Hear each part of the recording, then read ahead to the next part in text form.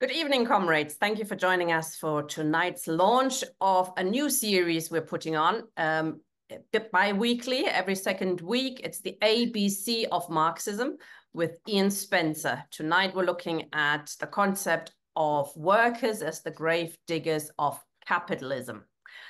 Thank you, Ian, for joining us. Thank you, and good evening, comrades. Today is the 141st anniversary of Karl Marx's death. Um, why Marx, by contrast, is a little over a year old and began by looking at uh, the contemporary relevance of the study of the works of Marx and Engels. Since then, we've covered a wide range of topics from the monarchy to the current genocide perpetrated by Israel in Gaza and throughout Palestine. Now, following requests from some comrades, we've returned to look at the fundamental components of Marxism. The aim is to present something accessible to those with a basic knowledge of the works of Marx and Engels, but also form the basis for discussion for those who've been immersed in left-wing politics for some time. The aim of this series is to show how politics, philosophy, and political economy are integrated because that was Marx's method and indispensable for a full understanding of Marxism. From the outset, why Marx has argued that the Marxism is relevant as relevant today and possibly more so than when Marx and Engels wrote the Manifesto of the Communist Party in 1848. If anyone wants to understand the reason for the growing inequality in Britain or how imperialism has led to the current barbarism in the Middle East, the ABC of Marxism is a good place to start. As we'll see, um, Karl Heinrich Marx was born in a part of Prussia which was most heavily influenced by the Great French Revolution of 1789. His parents, Herschel Marx and Henriette Pressburg, were both the children of rabbis. Henriette was originally from Holland and married Herschel in the synagogue at Nijmegen. Napoleon's declaration of the emancipation of the Jews in 1799 meant that Herschel Marx was able to train as a lawyer and enjoy a moderately comfortable life in Trier, where Karl was born. The defeat of Napoleon in 1815 meant, among other things, that the regressive feudal laws of Prussia, including discrimination against Jews working in the public service, were now enforced. Herschel Marx converted to Lutheran Christianity in 1824, changing his name to Heinrich. Their nine children, including Karl, were baptized shortly after. Henriette converted in 1825 and remained religious and probably covertly Jewish, as well as being more comfortable speaking Yiddish rather than High German. Heinrich Marx died in 1838 from tuberculosis, as did four of their children. The young Karl also had symptoms but recovered. Uh, the picture shows an 1836 lithograph of students in Trier outside the White Horse Tavern. The detail of the 18-year-old Marx is the earliest picture of him. Um, Karl wanted to study philosophy and literature at university, but his, at his father's insistence, he was enrolled at the University of Bonn to study law. Correspondence between Karl and his parents was full of entreaties for him to look after himself, drink less, not smoke, keep clean, and not spend so much. So profligate was Karl in Bonn that he was obliged to transfer to Berlin, where he became part of the young left Hegelian circle. Hegel, at the time, dominated philosophical discourse in Germany, but had become an establishment figure. Marx com completed his doctorate on the difference between Democritean and Epicurean philosophy of nature in 1841 at the University of Vienna under the supervision of Bruno Bauer, who had been a student of Hegel. Karl had been good friends with Jenny von Westphalen since childhood and also enjoyed a close relationship with her father, with whom he would enjoy long walks and discussions about English literature, particularly Shakespeare, Whilst Jenny's life had been overshadowed by Karl, she was a published theatre critic, writing reviews for the German press on the works of Shakespeare. As the von in her name suggests, Jenny's family were of minor German nobility, but were also related on her mother's side to Scottish nobility, leading Karl Marx to be arrested in 1854 after pawning some of Jenny's silverware. The police were unable to believe that a swarthy, unkempt-looking man could be legally in possession of silver bearing the crest of the Duke of Argyll. Jenny and Karl lived in terrible poverty for many years in London until eventually they received a legacy from Jenny's family. Marx first met Friedrich Engels in 1842, but by then Karl had fallen out with the Berlin Young Hegelians and was cold towards him. Later, when they became firm friends after meeting in Paris in 1844, Engels often wrote to Marx addressing him as Moor, a reference to his complexion and their common love of Shakespeare's Othello. Engels was born into a prosperous, devoutly Lutheran family in Barmen, now part of Wuppertal in uh, Prussia. Um, They owned textile mills in Barmen and Salford. The company Ermen and Engels only ceased production in 1979. Friedrich Engels, like Marx, immersed himself in the study of George Wilhelm Friedrich Hegel, whose works have informed their methods throughout their working life. But unlike Marx, Engels was not allowed to go to university. His father intended that Friedrich should enter the family business. In 1841, Friedrich undertook his military service in the Prussian artillery. Later, he put his military training to very good use in the revolutions of 1848, where he served as an aide-de-camp to August Willich, a professional artillery officer, Prussian artillery officer, who resigned his commission having become a Republican and a communist. Willich later commanded a free, free corps during the revolutions of 1848 to 9. After the revolutions, Willich uh, sought refuge first in England and then later the USA, where he eventually commanded a regiment fighting on the Union side. Engels retained a lifelong interest in military matters and wrote extensively on the subject, which is how he earned his nickname, the General. This was part of the division of labour between the two revolutionaries. While Marx pursued the study of political economy, Engels published significant works in his own right, such as The Peasant War in Germany, which analysed the Protestant Reformation in terms of class struggle. Engels also wrote many articles in Marx's name to help support Marx financially. Like Marx, Engels too was constantly reproached by his parents for his dissolute lifestyle, as well as his revolutionary political stance. Friedrich's avowed atheism and communist perspective, uh, and that he arrived at that independently of Marx, led him to being sent to Salford to play his part in the family firm. It was here that he met a radicalized Irishwoman, Mary Burns, working in the mill.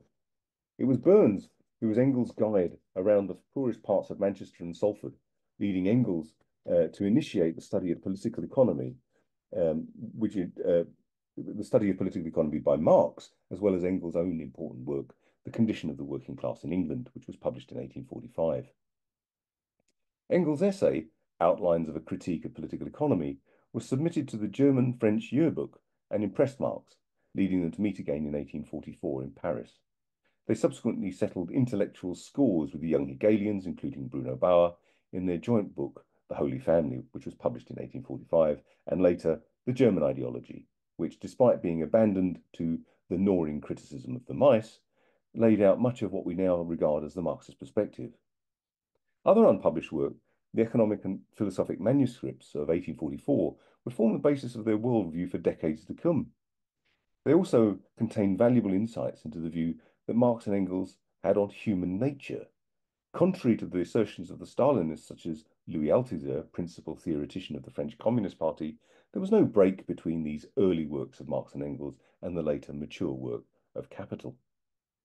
More importantly, the 1844 manuscripts which only became available to an English speaking audience in the 1960s, showed how the revolutionary transformation of society was about the creation of a world in which people would become truly human, a realization of the species being of humanity.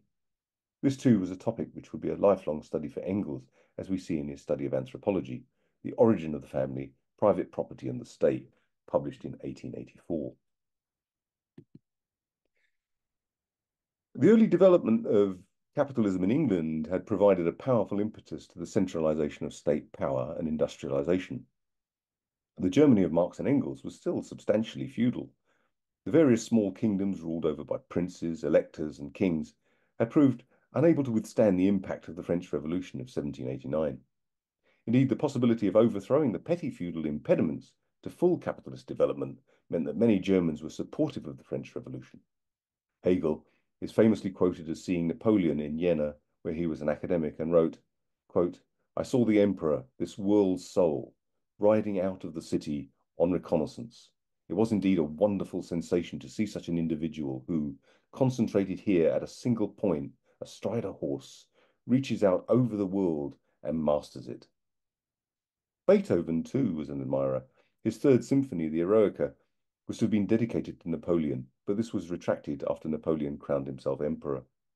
Hegel, too, reappraised, reappraised his enthusiasm for the French Revolution after the Reign of Terror. As we see from the map, Trier lies in a part of Germany occupied by the French and most influenced by the Code Napoleon. It's just here. Um, but Germany was also dominated by Prussia. Marx and Engels supported German unification, but not from any love of Wilhelm I or Otto von Bismarck, but as a progressive step towards a unified republic, even though Wilhelm became Kaiser after the defeat of France in 1871, which was the most momentous revolutionary year in Marx and Engels' lifetime. Any support for German unification was irrelevant against their support for the Paris Commune of 1871 and the first attempt to bring about a dictatorship of the proletariat. This phrase, which we'll come back to, is a testament to the classical education of Marx and Engels. Dictatorship is used in the way it had been used in ancient Rome. The Roman Senate could appoint someone, such as a general, as a dictator for a limited period to achieve a particular task, such as the defense of the Republic.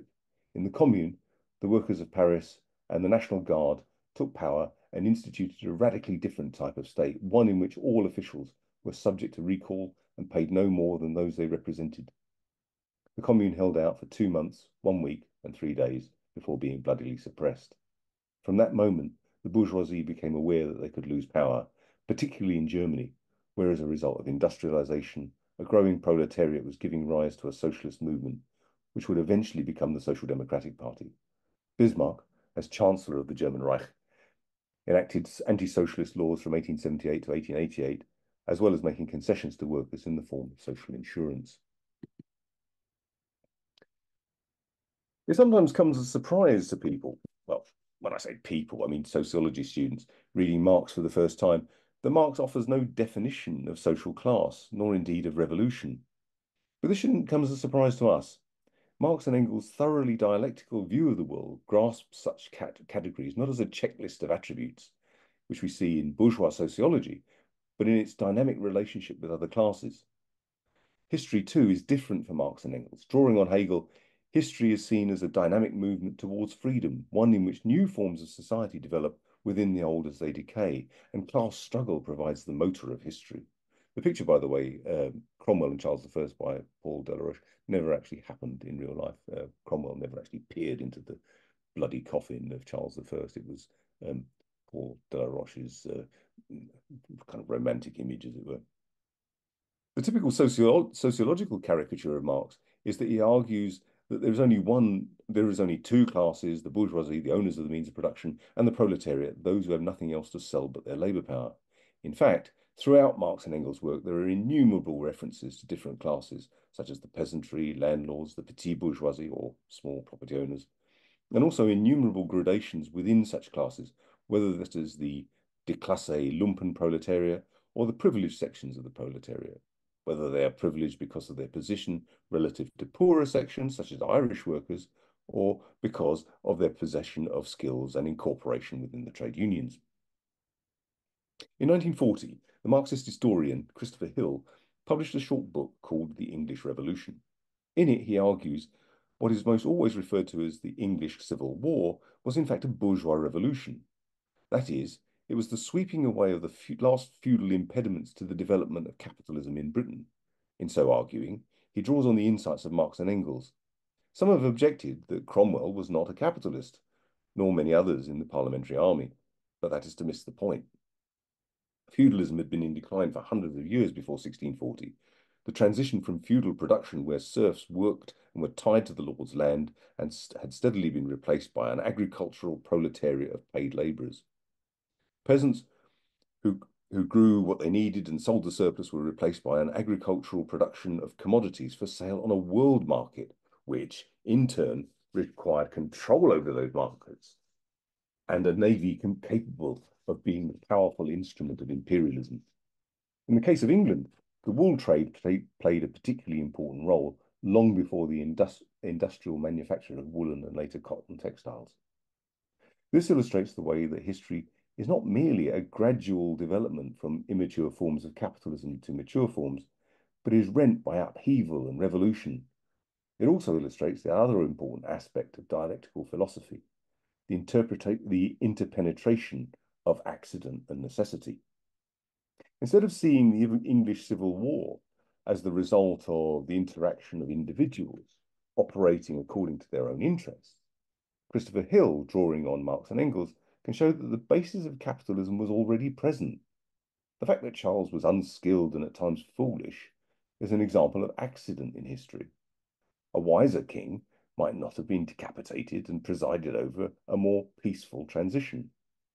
But the fact is, that the driving force for that transition was already there and unstoppable and the necessary feature, the development of capitalism. In this case, the bourgeoisie consist, constituted itself as a revolutionary class that was prepared to overthrow the landed aristocracy and its ideological support from the bishops of the Church of England. Proletarians, such as there were, played a part whether as foot soldiers on one side or the other, and perhaps more importantly as a driving force behind more radical sections of the new model army. Note, however, this was a class that at the time was not able to take power or even articulate its demands easily. We see it in the levelers of the Putney debates, the Putney debates, calling for the extension of the franchise and the abolition of the House of Lords. We also see radicalism expressed in religious terms, such as the digger Gerard Winstanley writing about the sin of private property. The point is that the bourgeoisie was a revolutionary class that took power by force, using other sections of society as conditions dictated, only later to suppress the radical elements symbolized by Cromwell declaring himself to be Lord Protector. What is at stake is the transition from the feudal mode of production to a capitalist mode of production based on commodity production, which in turn throws up different relations of production between free labour working for a wage rather than a feudal serf rendering compulsory military service or handing over a part of his produce to his feudal superior or the church. Later, this happened even more graphically in the French Revolution.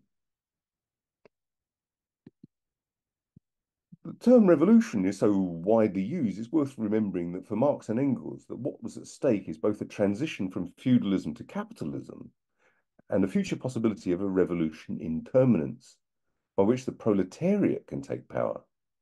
As an aside, it's also worth remembering why Marx and Engels use the term proletariat rather than working class. It's another feature of their fully classical education. The proletariat in ancient Rome was the class of landless labourers who had nothing to sell but their labour power. The bourgeoisie is derived from burgess or burgher, city dwellers, a class between the peasantry and aristocracy at one time subordinate, but in Marx's time, increasingly the dominant class, despite the continued existence of others. The revolutions of 1848, which I've already mentioned, uh, took place throughout Europe and were predominantly bourgeois in character.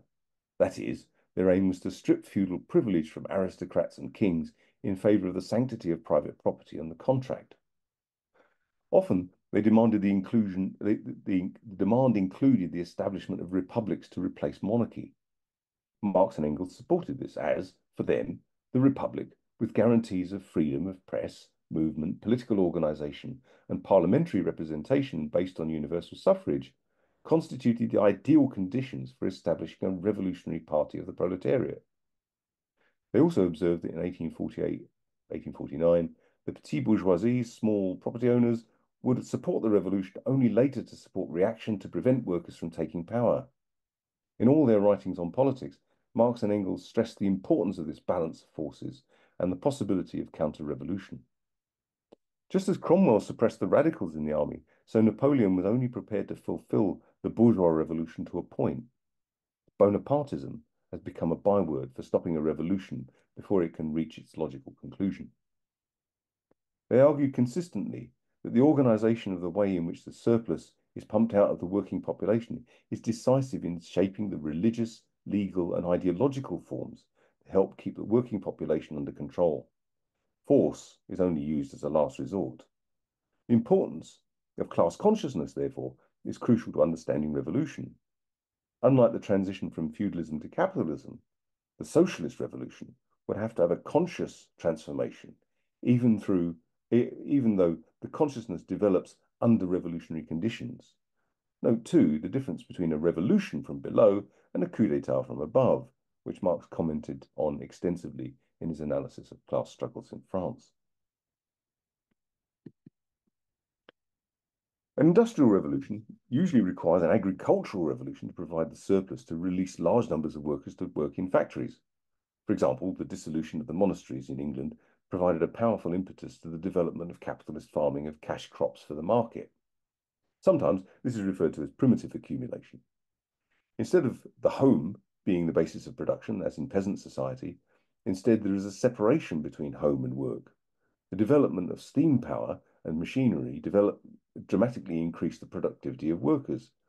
At the same time, the skill of the worker is subsumed into the machine. Early atmospheric steam engines required considerable skill from engineers, but the mass production that Engels observed in the cotton mills of his family firm, the rate of work was dictated by the machine. The chapter on machinery and capital is one of the most readable and powerful in the book. The factory concentrates workers in one place. Capitalist production separates worker from his or her product, but this also provides the basis of the separation from what it is to be truly human. Workers' actions are directed by the pace of work, which is now in the hands of the capitalist. At the same time, the product of every worker is also commensurable with the product of every other. She or he becomes an abstract labourer. Work, instead of being creative and something that life enhancing, becomes something to be dreaded. At the same time, the proletariat becomes a universal class the abolition, the abolition of which is the abolition of all classes and the final realization of a truly human society. The proletariat are the grave diggers of capital brought into existence by capitalism itself. Um, Marx and Engels were fully aware of divisions within classes as well as antagonism between them. These divisions were explicable by examining class relations in their historical specificity at one point, Marx says, a Negro is a Negro. Only under certain circumstances does he become a slave. A cotton spinning machine is a machine for spinning cotton. Only under certain circumstances does it become capital. These social relations appear superficially as natural relations. Marx talked about this as commodity fetishism, where, for example, the value of a commodity appears to be a natural feature like its weight or colour, which obscures the exploitation which lies at the heart of the production of a commodity. The fact that a worker appears to freely enter into a contract obscures the fact that the worker has little choice but to sell their labour power in order to avoid poverty or starvation. Systems like social insurance have been won as a concession by workers, but even so, unemployment for most people means poverty, and the gains that have been made can also be lost, as we've seen in recent years. Just as there are divisions in the proletariat, so there can be divisions within the bourgeoisie, as we saw graphically illustrated by the Brexit debate. So does that mean that these divisions constitute separate classes? The fundamental distinction between, is between capital and labour. That constitutes the defining feature of capitalism. Just as capitalism developed inside declining feudalism, the basis for socialism is developing within a capitalism in decline. Capitalism has created the potential for abundance. The proletariat, unlike in Marx and Engels' day, now constitutes most of the world's population. The interconnectedness of world trade also means the, the interconnectedness of workers around the world. Another crucial feature of the crisis is the crises caused by capitalism, such as the climate crisis and the reduction of large areas of the world to crushing poverty, forcing millions to migrate. This cannot be solved by the bourgeoisie. Revolutions happen when um, classes are faced with an almost insoluble problem. Of course, we can continue to descend further into barbarism if the proletariat fails to act or is defeated. But from a Marxist point of view, classes exist in themselves, determined by their relation, relationship to the means of production. But it is when they become a collectivity that they become classes in the truest sense, for itself, Whatever divisions exist in the ruling class are as nothing when they feel under threat. We've seen the recent development of a worldwide movement in response to the barbarism in Palestine. At some point, the proletariat must act to solve the existential threats we face. The only solution is a worldwide socialist society. Workers of the world unite.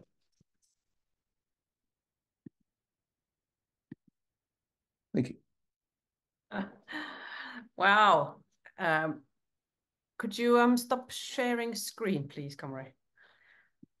There was a lot packed into your 20 minute opening. Jesus.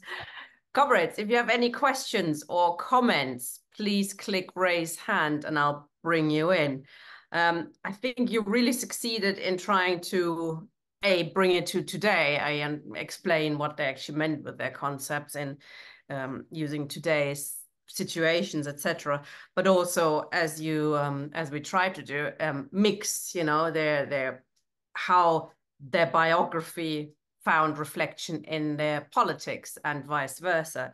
Um, uh, just a couple of questions then uh, to you to talk us through it because you touched on a lot of stuff. I think we might have to re-listen to this uh, in a in a bit of a in a slower slower way because there's a, a, lot of stuff in it. Um, so if comrades have questions or something, you know, or haven't quite understood something, please click raise hand and and ask.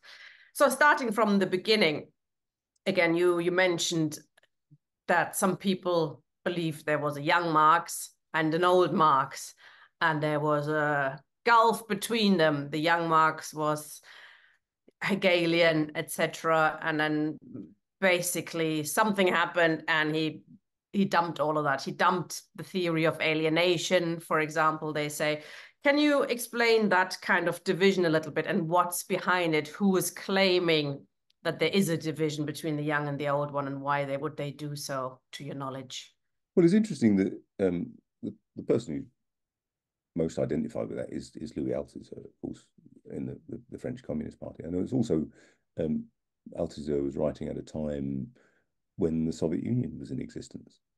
Um, if you have a situation, I mean, well, you know, as it, the focus here is on sort of basic concepts in in Marx and Engels, but if one considers the impact of the Soviet Union and the fact that the revolution was effectively defeated and therefore could only enter into this sort of stasis and become, if anything, a kind of anti socialist form. How does one explain um, the continued existence of things like alienation in the context of the Soviet Union? Um, if the conception of socialism is is somehow merely um, that there isn't private property, then the Soviet Union can could tick that box. You know, the, the property was effectively owned by the state, all property. Um, what then do we make of all this discussion around human nature? Um, because it, it it was not only in um, the economic and philosophic manuscripts, but it was in but it, it it's redolent through through Marx and Engels' work. Uh, and in Capital, there's a reference to human nature. Uh, it's contained in a footnote, but the whole point, of course, was that they were trying to um, that society should be moving to one in which humans could be truly human. Um, one couldn't make that argument about life in the Soviet Union. Anyone who actually lived there, uh, it, it, was a pretty dreadful place to live, um, and had terrible consequences for, for those who, you know, whether it was the famine caused by forced collectivization or whatever. So it's the important thing then was to simply take out all that stuff, all that stuff about the very nature of what it is to be human in favor of a kind of um, rather simplified version of, of socialism based upon the fact that the means of production wasn't owned by individuals, it was owned collectively by the state. But it wasn't even collectively. I mean, everybody knew in the Soviet Union that the the, the ruling elite, if you for want of a better phrase, lived better than everybody else. So um, how do we then explain why work is just as miserable, if not more so, in the Soviet Union than outside. So there was a, a, a feature within Stalinism which sought to remove all that. Um, and it was interesting characters like Erich Fromm or, and the Frankfurt School and maybe that, that tried to retrieve, if, if you like, the the the, hum, the humanitarian, the humane aspects of Marx. You could go further and say it was an, an ontological project. It was a, about the very nature of what being to be a human. Both Marx and Engels were, um, as I say, students of Hegel, and they were also called students of Ludwig Feuerbach. And, and, and it was Feuerbach that, of course, uh, made the crucial break with um, Hegel's idealism. Um, idealism in this context doesn't mean what we tend to mean. You know, we say always a bit idealistic, meaning he's got high flown ideas about this, that, or the other. But idealism in the sense that um, mind, in a sense, is is primary. Uh, it finds its ultimate expression, of course, in the idea of God. Um, but for Hegel, the idea uh, as a, as a, as a, as an, an ultimate uh, uh, a notion of uh, of a world spirit uh, as something which was determining uh, was, of course, the major factor. What Marx and Engels did was, as they put it, st stood Hegel on his feet, um, and and you can illustrate the difference between idealism and um, materialism by comparing, for example, Engels' magnificent essay, uh, The Peasant War in Germany, with that of uh, Max Weber, the sociologist. Max Weber presents the idea that in the Protestant ethic and the spirit of capitalism, that it is the idea of capitalism, the, the idea of the Protestant ethic that brings capitalism into being. So the idea is primary. And for a lot of people, this is actually what we see all the time. The idea that you have, we just have to change the way we think. Mm-hmm. Whereas from a materialist point of view, the way that we think is shaped by our material conditions. Um, and so when Engels does a much better job of analyzing uh, the Protestant Reformation, he does it in terms of the class struggle. Uh, and, he, and he shows how uh, Martin Luther's perspective is, is, shaped by the development of capitalism in Germany at the time. Now, when I say capitalism, obviously I'm not talking about modern industrial capitalism. I'm talking about precisely what was taking place in England as well. You know, the idea of farming being production for the market and a world market at that. And and really Martin Luther's ideas were the expression of, of a growing bourgeoisie. Mm. By contrast, uh, Thomas Müntzer, uh, who was sort of the, the radical end uh, of of uh, the, the Reformation, was putting forward ideas that would be appeal to, to the very poorest. Not strictly speaking proletarians at that stage, but you know, landless laborers, people who have been dispossessed constantly by the enclosure of uh, of lands by rapacious feudal lords and that kind of thing. Um, and so, for, for Marx and Engels, it's the material factors that give rise to the ideas of the time. And um, well, by contrast, you know, here's Max Weber, a person who had a hand in writing the uh, constitution of the Weimar Republic uh, and, and was a thoroughgoing liberal, um, trying to argue that it was Protestantism that brings capitalism into being. It's a bit of a problem for him, really, to explain then why it comes into being in Japan or a whole range of other places. Um, of course, he would have argued, I suppose, that it wasn't um, he wasn't arguing for a causal relationship, but he doesn't get away with it that easily. Mm. So it's a crucial difference between the radicalism of, of materialist dialectics and the conservatism of Hegel's idealist dialectics. Where you didn't mention the base and superstructure, but that kind of touches on that, which I don't think Marx wrote a lot about, but a little bit in it. So the base, the material base, informs you know church state how the state is organized etc and you have to understand it from from that way it arises out of it and of course it then also thus that superstructure then also feeds back into the base and can perhaps change it but it is a it isn't one direction only no uh, and and they, they're constantly influencing one another and the um the the, the tendency has been to see the, the, kind of base and superstructure metaphor as being just about how um, the material base affects the way we think. But the whole point, of course, is that uh, I think Marx puts it in the terms of that you know, ideas, once they seize hold of the masses, also become a material factor. Mm-hmm. And because after all, human beings are part of that material substrate.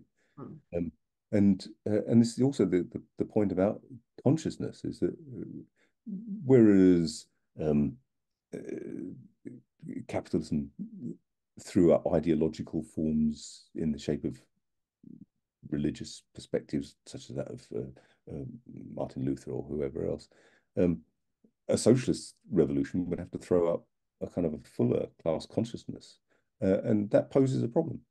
How do, you know if, if, as I'm arguing, um, the the basis for socialism already exists, and it exists in the form of you know, almost a superabundance. I mean, we, we could quite mm. easily reduce the working week to ten hours very very quickly. Um, under different circumstances. Mm. But you know, when you can when you consider just how many jobs that are being done which are completely pointless and make nothing of any any worth, including all the armaments industry and everything else. Um, Can I ask? Yeah, sorry, go on. No, that, that that's okay. Ask something about the um the lack of a blueprint uh in Marx and Engels, which is I think troubled generations. you know, what exactly is socialism supposed to be? How we're supposed to build it? You know, how we're going to get it? And you're saying also there was no clear definition of classes. Um, and you know, so and you get it. I mean, you still get it. And people think, oh yeah, yeah, I'm I'm a capitalist if I support the current structure. I have no idea what it actually means and stuff. But we get an idea. I mean, there weren't, wasn't a clear definition, perhaps, but we have a we have an understanding roughly. I mean, you, explain it. There weren't there's two big classes, but there are also lots of classes in between. But these are the two big poles, really, aren't they? And oscillate. Other classes oscillate in between um, those two those two forces. So in your in your um, you know when talking about the grave digger, which is the sort of title of of this session, the grave digger that I cap capitalism produces the proletariat, the working class. Um, can you can you explain this a little bit more? How it then tries to break other classes, how it tries to um, you know win over also parts of the, the bourgeoisie. And in the form of Engels, of course, it has won over a capitalist, a proper bourgeois. It, it's it's an important point because the um, there's been a tendency in the past on, on in left wing groups to say somehow the only people who can really be communists are sort of horny handed sons of toil and uh, people who work in productive industries as opposed to non productive industries. I mean, as the series goes on, we'll look a bit more closely at productive versus non-productive labour. From the point of view of Marx, of course, um, productive labour is surplus value producing labour. It's those workers who are being exploited. But what does that mean about, I don't know, teachers or nurses or whatever? At no point does Marx say that these are somehow not workers. On the contrary, um, that all of that is is is part of um, still, I mean, they still have nothing else to sell but their labor power and still uh, potentially identifiable with the proletariat.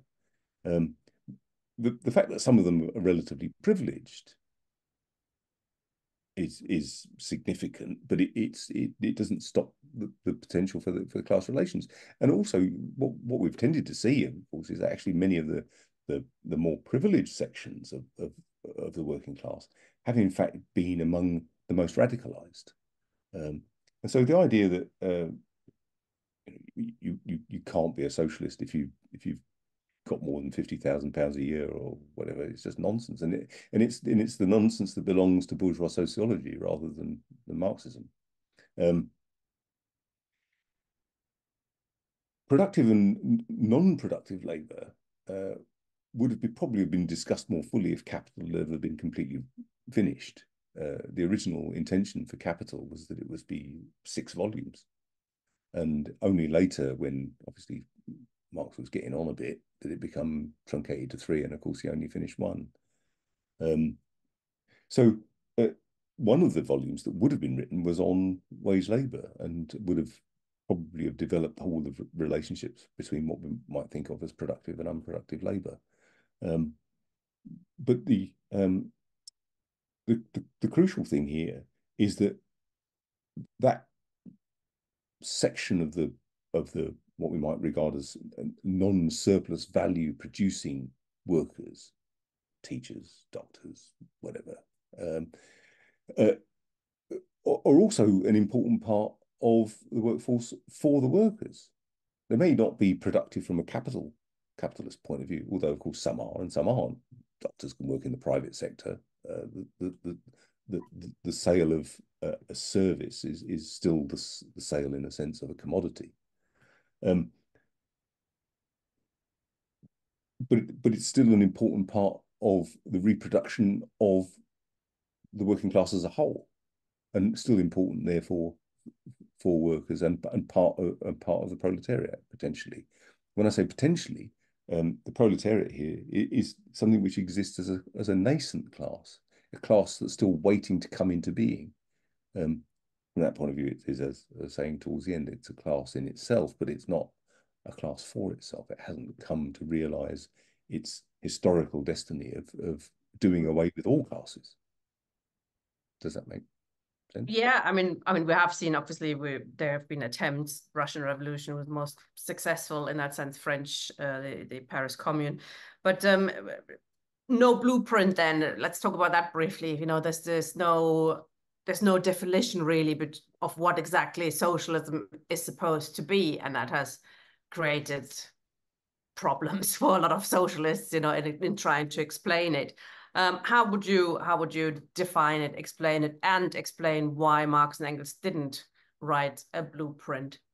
They, they tended to, I think they tended to avoid it, but they they, they were never soothsayers. They were never um, a, a, attempts at um, predicting things, and where they did predict things, they, they weren't necessarily particularly accurate. Mm. Um, so, what what would a socialist society look like? you can't really know mm. uh, in advance.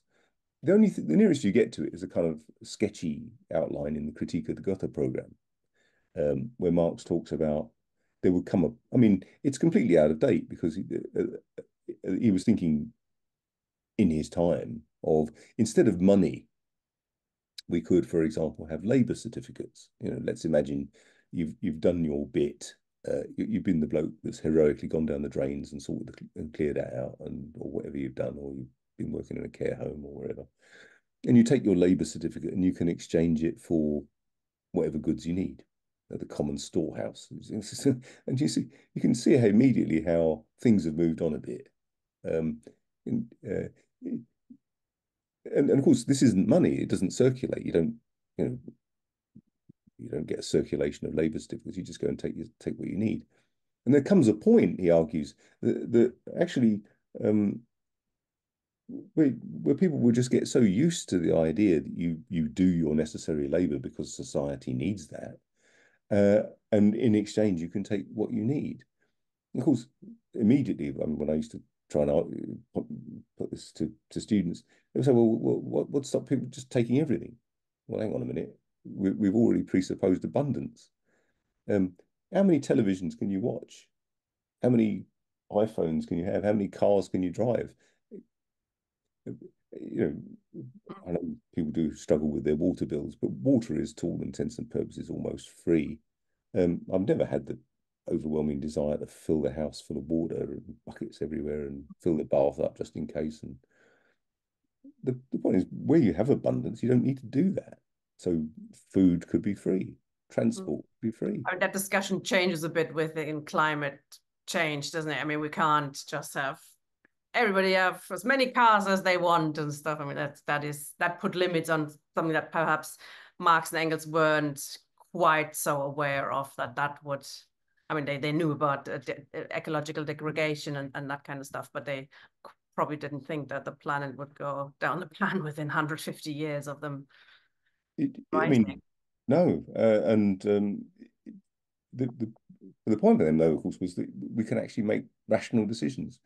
Um, capitalism doesn't make any rational decisions. I mean, it's just based upon uh, the immediate short-term gain of profits. So, therefore, when uh, you know when the government, our government, decides that they're going to carry on extracting North Sea oil because we don't, well, we, we could lose out in some way. Um, well, ignoring the fact that we just can't burn the stuff. Um, but if the only thing that matters is profit, then, then that's what will happen. And that's why there needs to be a, a, a rational and democratic approach to the question of uh, of of of climate change, of of of uh, of whole uh, approach to human need. And yet you see all sorts of other irrationality. I mean, a lot of farmland in Britain, for example, is quite marginal. Um, and, and it's been won from the land by destroying miles and miles of forest which had previously thickly covered the land. Um, there's no reason why some of it couldn't be reinstituted, and and the same goes in lots of other places.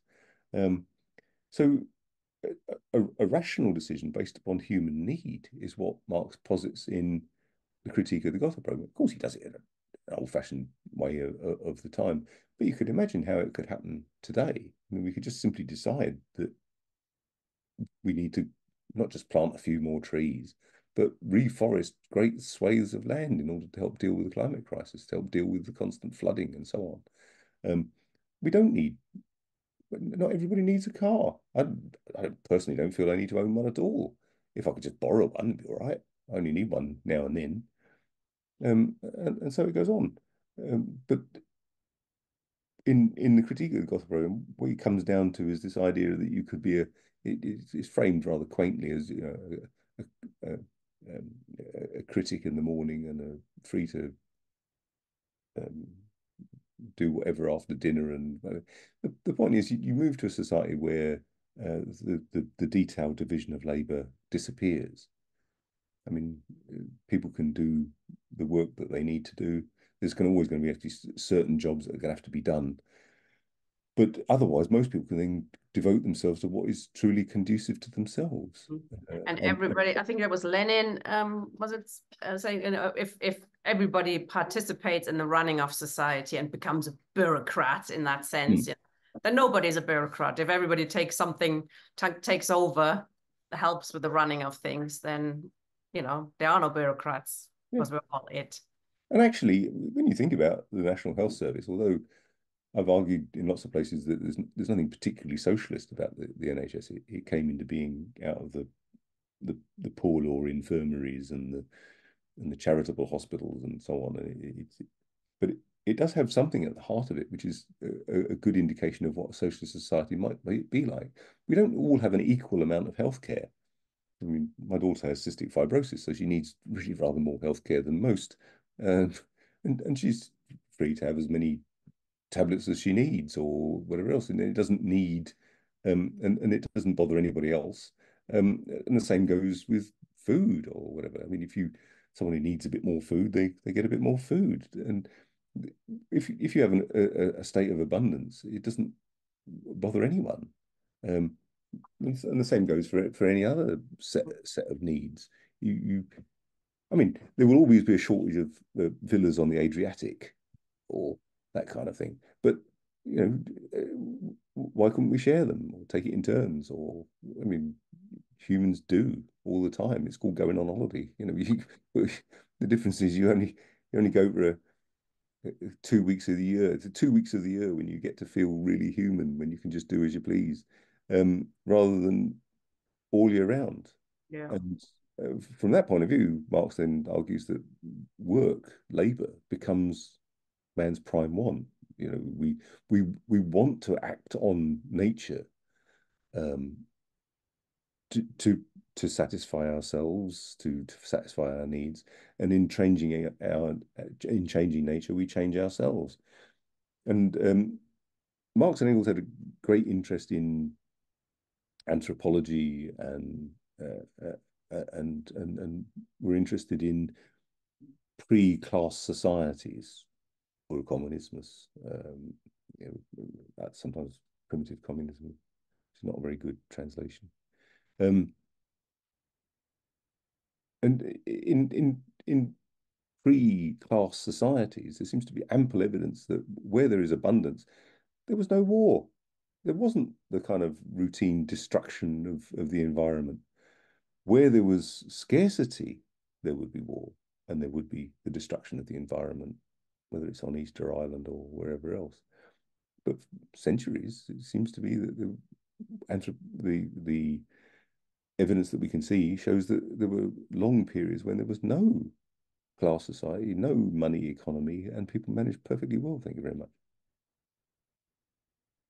Indeed. Um, one other question um, before bringing comrades from the floor is this this the um, concept of dictatorship of the proletariat, which people here and many many think, and some socialists think that as well.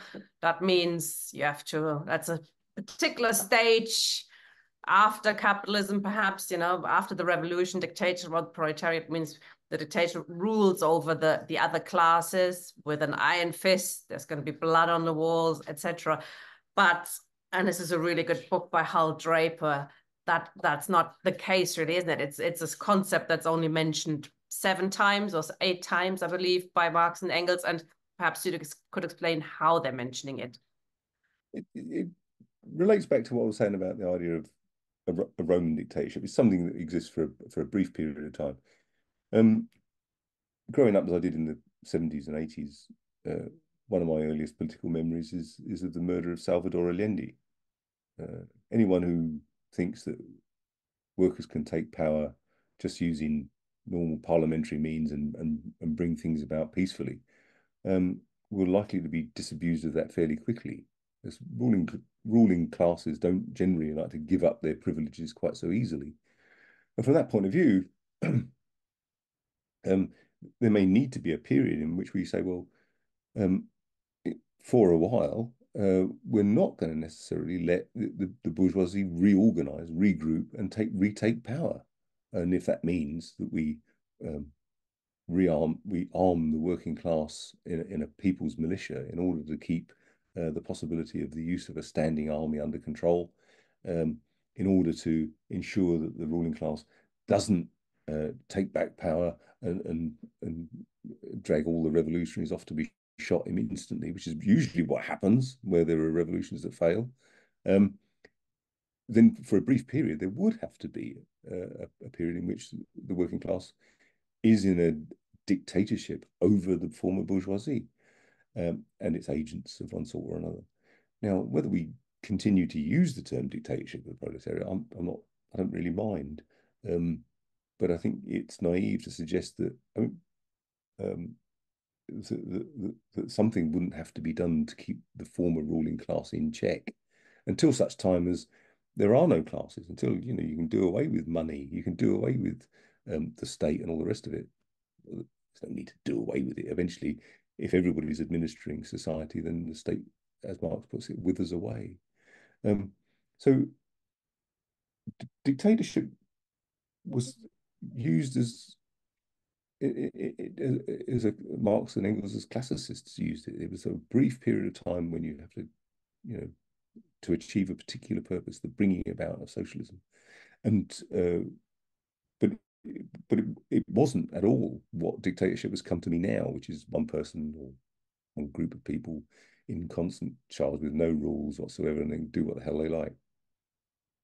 And it, it it it just means rule, doesn't it? I mean, mm-hmm. the the concept just means rule of the working class. So, mm. I mean, the Chartists did had this this really nice saying, and but I agree, which, which was basically, you know, peacefully if we can, forcefully if we must. So we are prepared. We have a workers' militia. We are armed, and if the ruling class, the former ruling class, the capitalists, don't agree with the new order of things, then you know some will have to fight back, of course. Um, but you know, if if they don't, then fine. You know, we're not we're not going to close down everything. We're not going to close down every single newspaper, every single party, or whatever. Uh, all all depends, isn't it? It's a tactical question. Yeah, I mean, uh, it, it, in a way, the, the, stronger the revolution is, the, the, the the less repressive it has to be. Yeah. If if you have the overwhelming majority of the people behind the idea of a transformation to a, a peaceful society where all production is to meet human need, then the odd person who suddenly decides that he would just like to reinstitute capitalism, well, it would just be a, a, a source of pity, mild derision, perhaps. Hardly hardly need to suppress them and let them publish what the hell they like. Um, it, of course, the experience of the Soviet Union when the revolution was effectively defeated by 1919 um, meant that you know you you you have in the end the Bolsheviks reining in democracy as well. So you the the Bolshevik Party doesn't have any factions after what 1921, and and the the, the, the Soviets uh, has effectively ceased to be the democratic institutions they most definitely were at the, at the start of the revolution. Mm.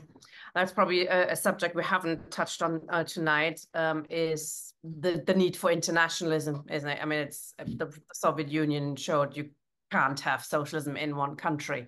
It just won't work because you know you get 18 other I don't know how many other I think it was 18 uh, armies invading um, that you know red beacon and trying to put an put an end to it. So as you describe, it quickly turns into something else unless we can internationalize that. How how will that work in practice, or did, did Marx and Engels deal with that at all? I don't think it's well. I, I think it's fair to say they they, they didn't. Uh, I, I think Engels is interesting because, of course, he he writes uh, about insurrection and saying you only really carry out insurrection when you really know what you're doing, when you when the balance of forces is is in your favor, because the likelihood is you're going to be up against a far superior enemy. You know, they've got the army, they've got the people who are who've, got the surveillance, they've got everything. Uh, and what we've got is vast numbers of people, most of whom have no military training, have no capacity to to to accept the sheer weight of numbers and the fact that ultimately, of course, soldiers and all the rest of it will, will, will, will come over to our side. We'll have to, or otherwise it's just going to be another bloodbath. Um, does that make sense? It certainly does. And I'll shut up now and bring in comrades from from the floor. Um, Malcolm first. Can you hear me? Yep. Yes. Hi. Yeah, it's very hmm. simple question, actually. Um, at some point in your talk, you you said, "What does it mean to be human?" Um, but you didn't say what it did mean to be human. So I wondered how that came into your quite complicated analysis. Well, um, what Marx and Engels were up against really was uh, it, it was something that had come from Feuerbach, the idea of man's species being. How would humans be if they could be truly anything they wanted? Um, most of our lives are taken up with just working for a living or whatever else, and we're bound up with a whole series of ideas, um, not of our making, which is you know, people are inherently greedy, acquisitive, rapacious, um, and and a, a, kind of notion that you see in bourgeois philosophy of a of a war of all against all, as in Hobbes or whatever, and and therefore requiring a certain amount of repression as the price we pay for a civilized society. Marx and Engels would have argued that's not how humans are at all. Human nature for Marx and Engels is about um, well, in, it's inherently collective. It's inherently um, uh, social. You don't find human beings on their own, and if they if they are on their own for any length of time, they usually become quite ill. And if they if if if humans uh, on the rare occasions where where humans have survived, as it were, in the wild without other human contact, raised by animals or whatever, they don't even fully develop properly. Um, the, the developing as a as a as a social animal is is is what we do, and the other aspect of it is it it's is human as as worker in the sense of humans that, that meet our needs by our labor uh, and that changes us as well as nature so the Engel, uh, the example Engels uses is the opposable thumb, which develops as a as a result of working upon nature, and making tools and so on. You could use other examples. The human bowel is is actually quite short compared to that of a a, a largely omnivorous hominid. And by contrast, the human brain is very large. Um, and that's a, quite an energy hungry organ. And the only way you can really satisfy that is through cooking.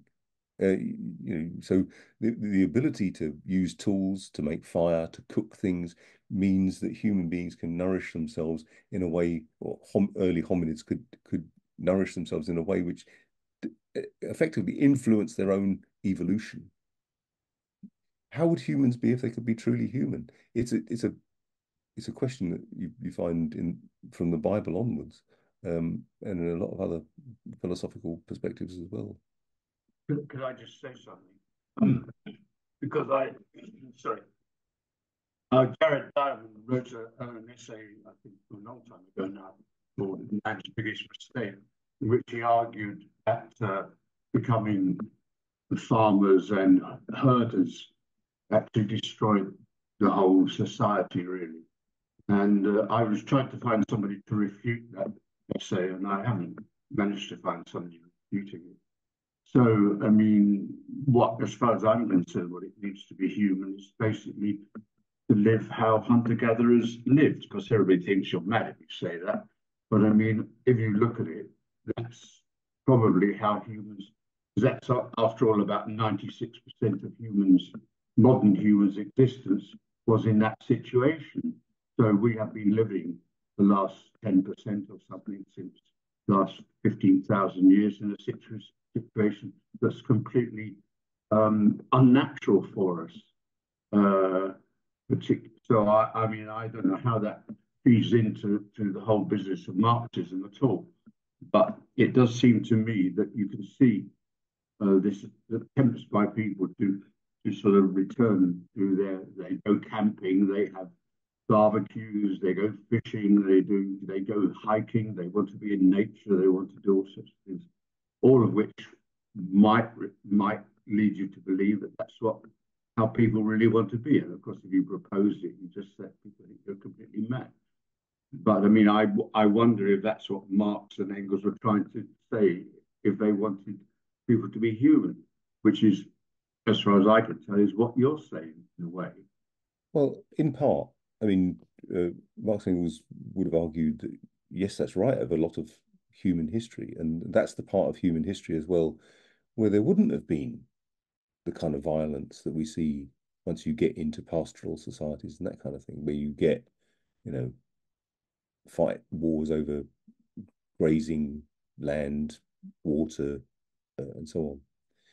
The, I think though that what Marx and Engels would add to it is to say we've got past the, that hunter gatherer stage. We can actually have more than that because we can have abundance plus. You know, so I, I, mean, rather than me having to spend all day trying to find a, a small animal to eat and, and trying to catch it and the rest of it, I'm then free to go to the theatre. Uh, I'm free to do all sorts of things. I'm, I'm free to read books. I'm free to, um, you know, play with my dog or, whatever I want to do. Um, and and and that's the point. It's, it's not a, an appeal to go back to a pre, pre primordial stage it's an appeal to keep the best of what we've got, um, but make it sympathetic to nature because you know we're part of nature and we can't do without it. Does that make sense?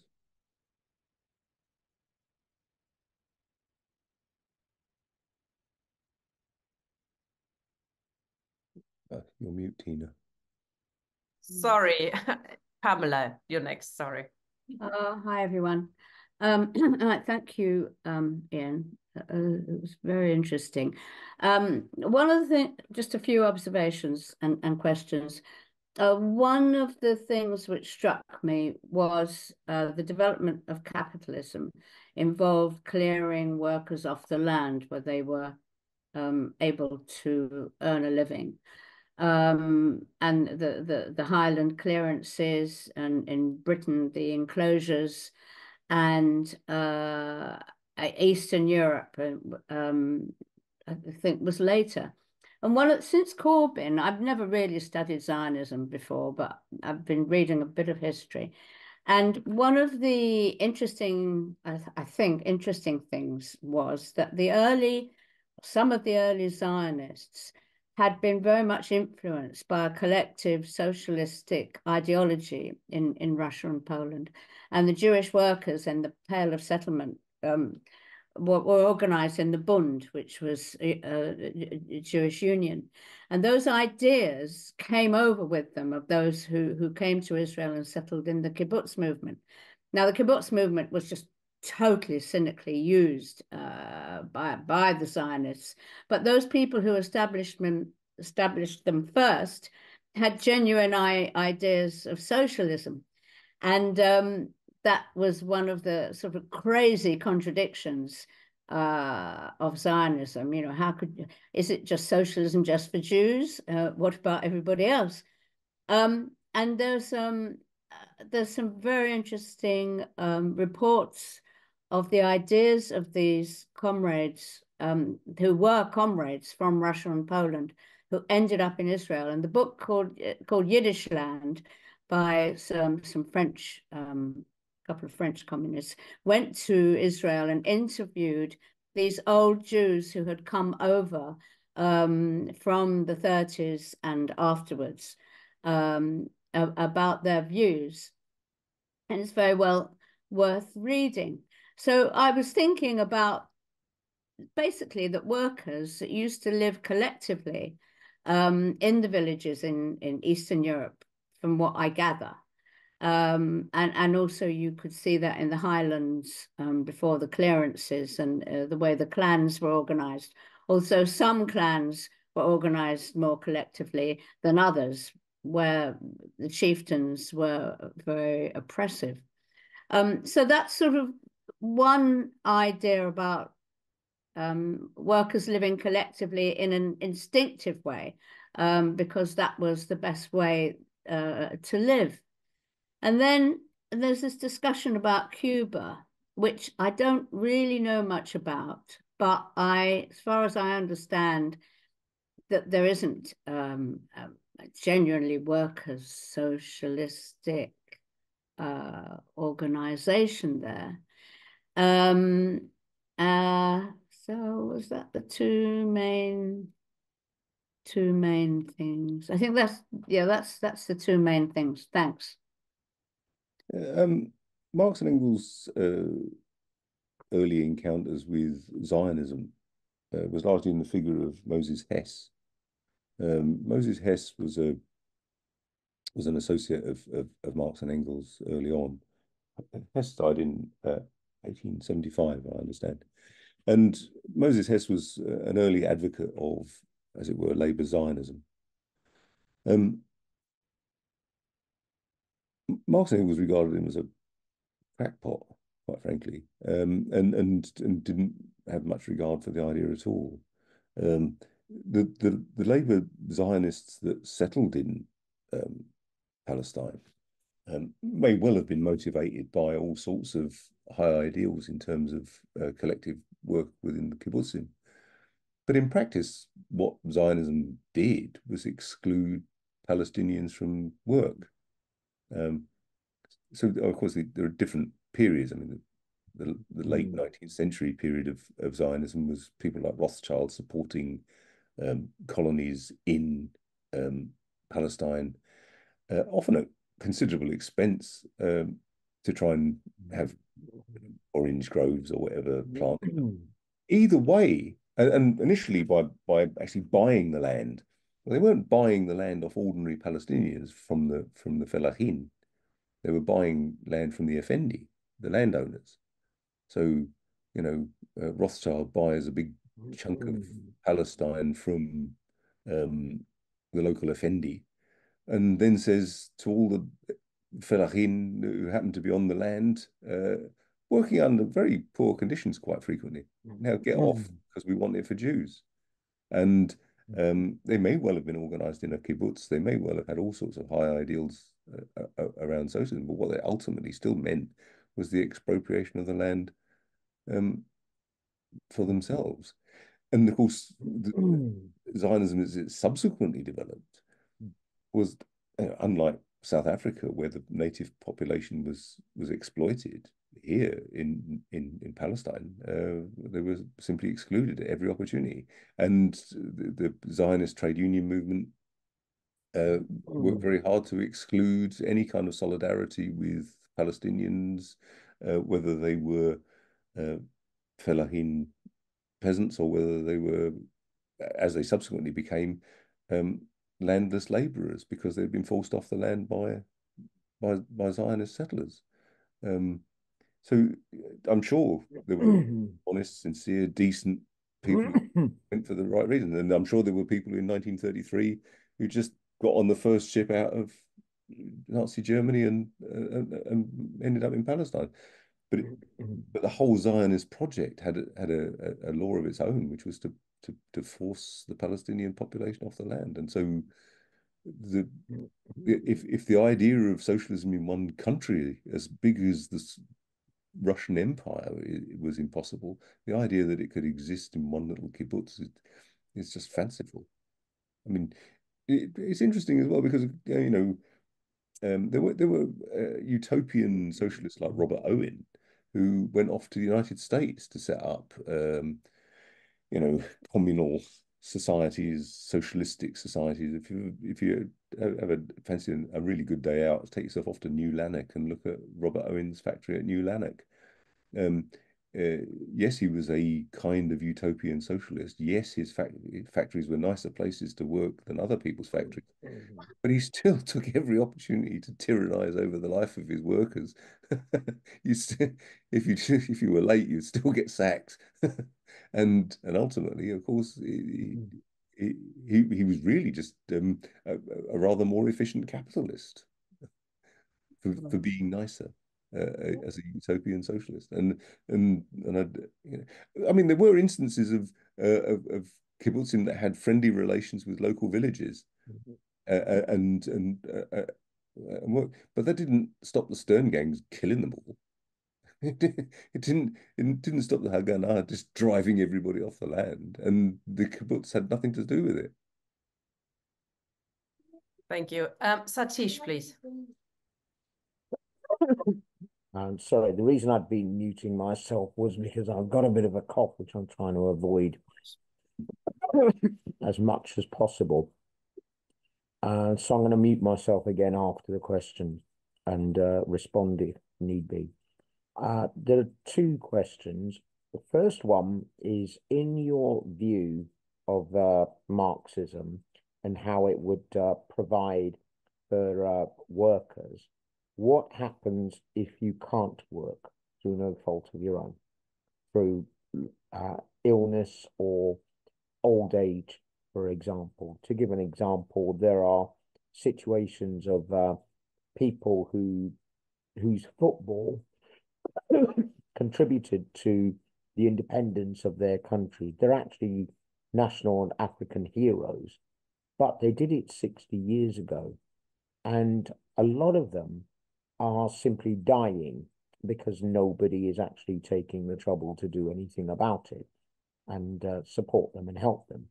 And the other question is uh, in relation to the current situation in Haiti, which historically is a country which has been, for want of a better way of putting it, completely betrayed by the international community. It was a revolution, which in the early days was conducted magnificently and then strangled. Uh, when I say magnificently, part of what I'm talking about is even though they didn't have great the greatest resources, they still spread their influence and they provided assistance in the fight against colonialism and slavery. And it actually played a huge role in the development of uh, the world. For example, the United States would never, ever have become a superpower, or certainly not as quickly as it did, if it hadn't been for the Haitian revolutionaries beating the crap out of uh, Napoleon's tactics and forcing them to sell the Louisiana territories. That resulted in the borders of the, a small country reaching what is uh, what was then Mexico's borders in Texas, Arizona, New Mexico, etc., and paved the way for the annexation eventually of California, which was vital. And this played a very, very big part. So I'd noticed Marxists don't, and this is not just at Marxists, this is just about anybody they don't give credit to the Haitian Revolution and they don't actually look at it and say, well, what do we do about it? Because this kind of example was crushed it was made into, it's referred to as a failed state. It's not a failed state, it's a wrecked state. What do you think Marxists should be doing in support of Haiti and uh, it, in terms of understanding the development of countries like that? Because it's quite often forgotten about. Most countries are not as advanced economically uh, as uh, European in, in particular. So if you got a revolution in a country like Haiti, it isn't going to be able to stand on its own. It is going to require assistance, and it is really a good um, the use of a good example in order to try and hit at uh, the weakest point. Thanks, comrade. Um, my only knowledge of the, the, the history of Haiti, um, apart from very recent stuff, was actually written by a Marxist, well, a Trotskyist, uh, C.L.R. James, uh, who wrote the magnificent uh, Black Jacobins. I don't know if you're familiar with it. Um, C.L.R. James um, wrote a history of that Haitian revolution. Whether that is a good explanation for what we see at the present is a different matter. I mean, as far as I understand it, more recent times, Haiti has operated under a series of dictatorships who have extracted as much surplus from the country as humanly possible, uh, and with the help of the United States and whoever else. I mean, one of the uh, features of um, the the 80s and 90s in Haiti was, uh, you know, it was a, just a, a, a, place to go for to to be exploited, really. Um, so I, as to what socialists should do with the context in the context of something like Haiti, I mean, clearly this is a society which is um, being destroyed like so many others. I mean, Afghanistan, Iraq, uh, and so on. It just it's never ending. I mean, the, the point about capitalism is it is laying waste to to to, to swathes of the world which were once quite well developed. Um, as regards what happens when people can't work, well, they're, they're supported. Uh, and the idea is, of course, you're moving away, that a socialist society would move away from um, commodity production in favor of all production to meet human need. And from that point of view, if you can't work, then you don't have to. Um, it, it, Marx, in the critique of the Gotha program, which talked about earlier, um, talks about a, a kind of higher phase of, uh, of communism He uses communism and socialism in, interchangeably. So, a higher phase of communism, you have a, a situation where um, you effectively have from each according to their ability. You contribute what you can, and to each according to their needs. You you take what you need, and so if you have a, I mean, what we have, what do we have at the moment? We have um, an aging population that are turned into the the basis for for stealing their house uh, to to pay for their for their care, uh, rather rather than be kept in dignity and in in dignity in their own home. At the moment, they're just simply the the basic basis for exploitation by the care home sector. Um, I don't have a formula for what Marxists should say about Haiti today. I don't think there is a solution that's going to come about by a former colonial power going in, in invading it and taking it back under control. I think the, the working people of Haiti have to do that for themselves. But how you do that in the face of armed militias, um, I mean, as it stands under the, the, the, the, the current ruler of Haiti was somebody who had been imposed by the West anyway. Um, and that's one of the reasons why they want rid of him but I don't know enough really to say for sure.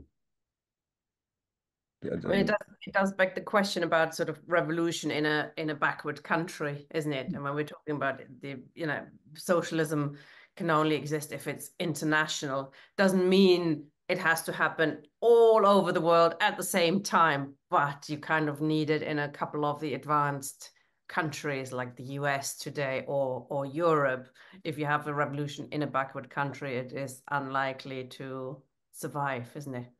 I would like I would like to think that any social any world socialist society would set about many of the underdeveloped parts of the world or parts of the world which have been de-developed uh, by the by the actions of, of imperialist countries um, by saying a, a, a version of of, um, of, a, of a development program that would that would reconstitute those those societies and would build up their infrastructure for them. Um, it's quite interesting, really. In the 1970s, I think it was, the 60s, um, uh, doctors and whatever else went from Haiti over to Zaire uh, uh, to to help out there in, in a kind of post-colonial environment um, because there was good work to be had and the rest of it. Um, and there's no reason why people couldn't go to Haiti. Personally, I find it a bit scary, um, but but but that's something that a, a, socialist society would have to face. There, there are swathes of the world which were once prosperous and and uh, had good educational levels, were safe, uh, but have been turned into absolute barbarism uh, by the actions of imperialist countries, and we would have to reverse that. Yeah. Steve, please.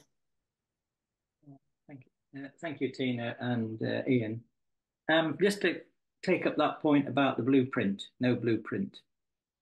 Um, in a way, no plan for socialism, and, and and I think that was because Marx was rejecting Marxism was a rejection of the utopian idea that you would think up a blueprint for the most perfect kind of society you'd like to live in. And we'd have, we'd share out the food and we'd do this, that, and the next thing. So we could work on a blueprint and many people could have many blueprints. But Marx wasn't doing this at all. What Marx was doing was something completely different. He was saying, well, socialism grows out of capitalism, out of the development of wage labor. It's the socialization of wage labor. So, in a sense, socialism is already happening to us, and it's called capitalism within capitalism. And I know that capitalism, we have exploitation, we have oppression, we have murder, we have genocide. So, we can't see the good stuff, the possible future stuff, because all the terrible stuff that's happening to people as, as capitalism develops as an exploitative system. But therefore, Marx would say, so Marx would say, well, what would what will capitalism be like in 100 years' time? And he probably couldn't say. So he probably didn't know what socialism would be like in 100 years' time because he, because he couldn't predict that far into the future. But what he could tell us was certain trends that were happening, like the accumulation, like the idea that um, capital is growing larger and larger, businesses are growing, we're getting we're going from small businesses to medium-sized businesses, to large, to multinational corporations. Then we're getting automation. Then we're getting um, AI. So we're getting all these things which are all going to be part of the socialization that is taken, that capitalism is doing its work in that sense, taking us towards it. But the thing to remember, it's not a passive thing that we wait for capitalism to, to socialize everything. It's rather that the working class the struggle of the working class is the propellant of this process.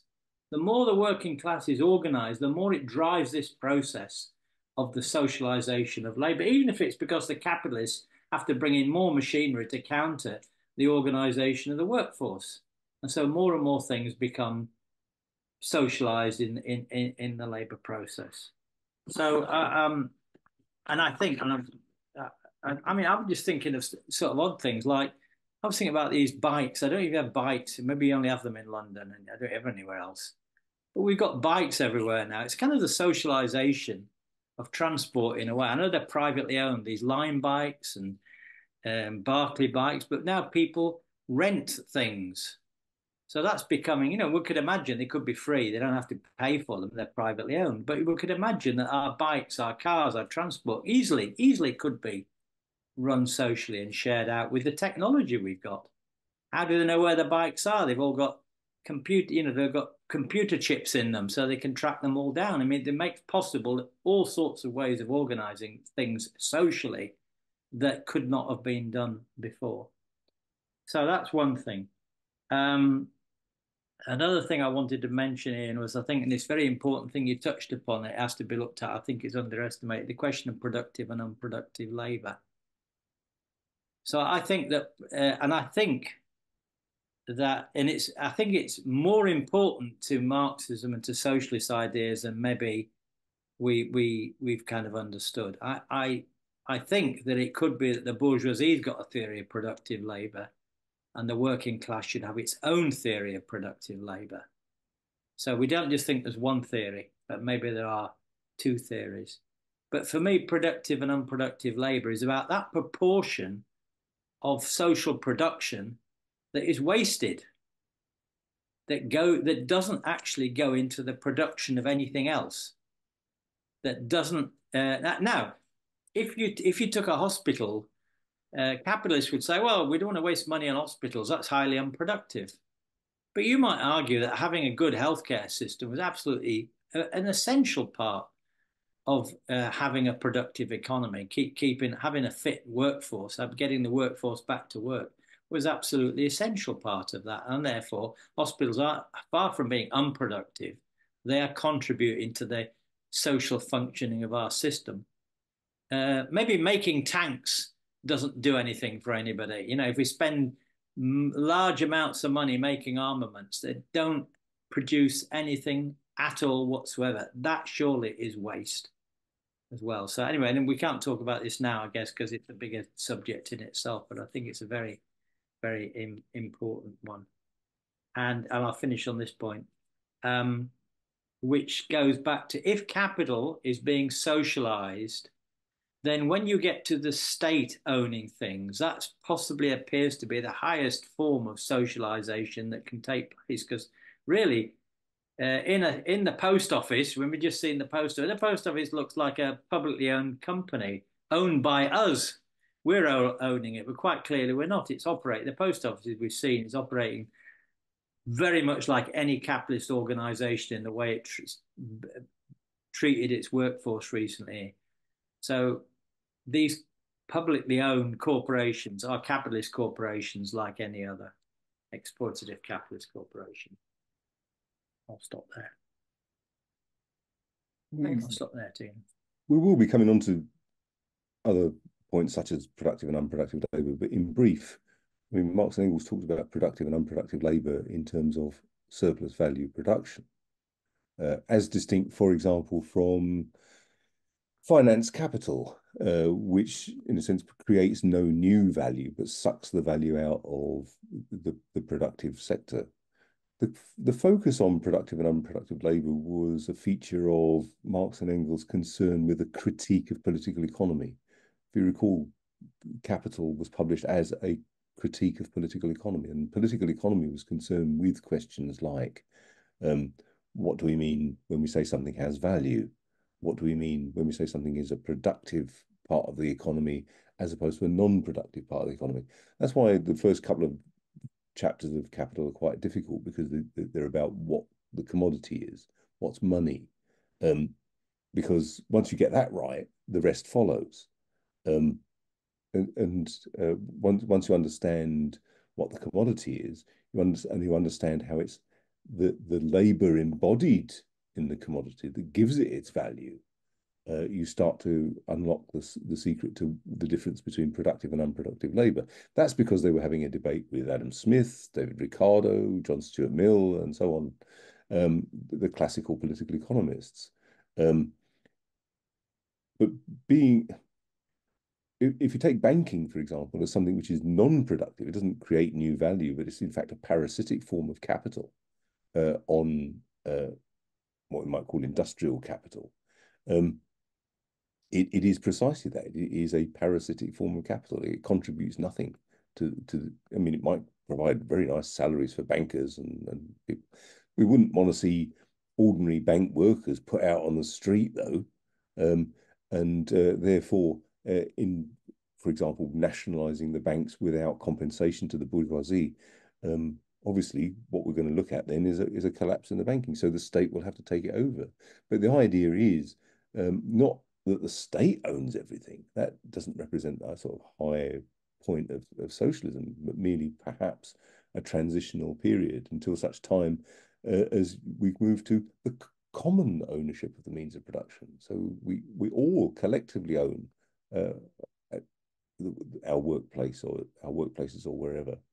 Um, uh, there was I, I, I was told in the chat that I didn't answer the question about what we do about the disabled, the sick, and all it. They get looked after. We, they, there's no question that um, free healthcare, free social care would be an intrinsic demand very early on in any socialist society. Um, the other point about it, of course, is uh, the importance of democracy, uh, which is something which is often overlooked in the discussion uh, around what a socialist society is. We think of British society, for example, as supposedly democratic, but of course it's nothing of the sort. You, you, you put your mark of illiteracy on a piece of paper once every four or five years and get a choice between two sections of the, you know, the executive committee of the entire bourgeoisie. Um, instead, what we would have is the kind of direct participative democracy. You know, if you if you're going to decide um, what we're going to prioritize in terms of education, health, or whatever else, whilst money still exists, then that's put to uh, democratic decisions, and our representatives are subject to recall at any moment um, if if they don't vote the way we've asked them to vote, uh, and uh, that would be uh, and that was a, a, feature of workers' councils, both in the German Revolution and, of course, the, the Russian word Soviet just means council, um, and, and, by implication a, a workers' council. So the, we'll come back to the question of productive and unproductive labour because it's sometimes misinterpreted as that somehow socialists are only interested in those bits of the economy that are productive labour. But of course, you end up with a paradox then, don't you? You know, the nurse working in a private hospital is a productive worker in the sense that they're producing surplus value for the capitalist who owns the hospital. But on the other hand, the nurse working in the NHS is employed against taxation rates. That certainly isn't what Marx and Engels were talking about, um, because the obviously uh, in order to have a healthy workforce, you, you need health service, you need good nutrition and all the rest of the, all the other things. Um, and so so it, it, it isn't about drawing a distinction between, as it were, good workers and not so good workers. It's about, it's about, it's about saying it was it was about Marx and Engels' critique of classical political economy.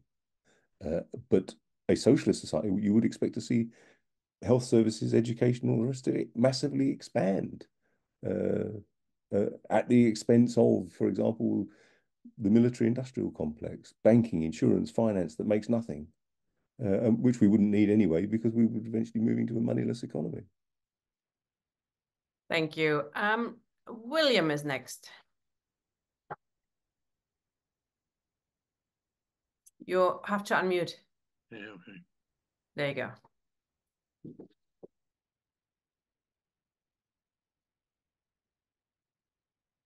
Sorry, I think you muted yourself again, William. How was that? Am I unmuted? Now, now we can hear you, yeah. Right, there's two uh, points. I won't be long. We had a communist system in Ireland previous to uh, the Elizabethan invasion. It was known as the Brehon system. A Brehon is a judge and the Brehon laws were the judges that were the laws that the judges had to uh, adhere to. And they were written down. And we were a land of milk and honey. Uh, production was always in excess.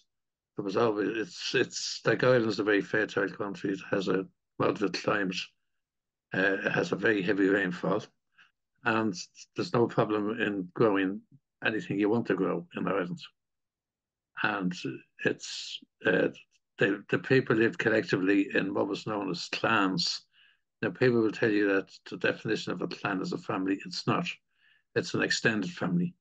It's it, there's no English word that actually covers the word clan in the Gaelic language. Now, they also uh, they lived collectively, and there was no such thing as private property the clan owned the land and the clan administrated the land. Initially, they lived in what was known as uh, Raths, R-A-T-H, and if you travel Ireland or Scotland, you'll find Rath in an awful lot of names on villages and towns. And uh, they they also then moved on to Clachans. Now, Clachan is, they is the Irish word for village, which it's not. It's an Irish word for houses that are in a semicircle.